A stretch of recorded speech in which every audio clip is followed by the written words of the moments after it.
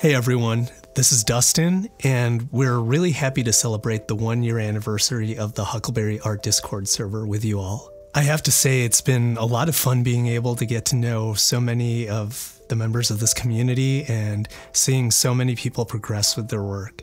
There are so many art communities out there that are really great, and we appreciate that a lot of you choose to spend a lot of your time here. I think that some people running communities don't really realize that the biggest thing that people can do is to choose to put their time and attention into a community. So, you choosing to place your time and attention here is is something that we're really grateful for. I want to give a big thank you to our moderators and everyone that does whatever they can to keep the community safe from spammers, scammers, bots, and any other kinds of undesirables. I want to thank our instructors for providing so much great education and support to their students in the community, too. A big shout out to everyone that takes their time to give helpful advice in the critique and general channels.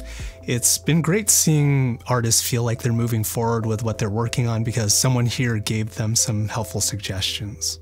There's also been some really great conversations to help lift up artists who have been feeling stuck or unmotivated or feeling defeated, and it's really appreciated that there are people out there who are taking a couple minutes to do what they can to help that person feel better. And a big thank you to Pete for being a great friend for 25 years and choosing me to be his partner in growing and operating Huckleberry as a community and a business. We've got a lot of exciting things coming up, and we're really glad that Huckleberry is able to help artists with both free and paid offerings to help people, regardless of their skill level or budget. I hope the future of Huckleberry continues to be as bright or brighter than how everything's been these past few months.